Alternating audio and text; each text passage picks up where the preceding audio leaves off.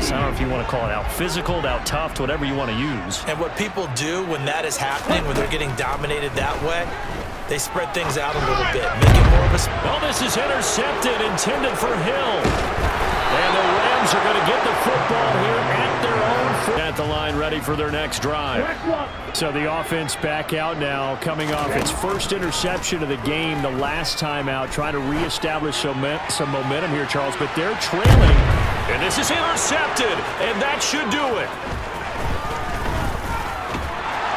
And he'll take it across midfield to the 46-yard line.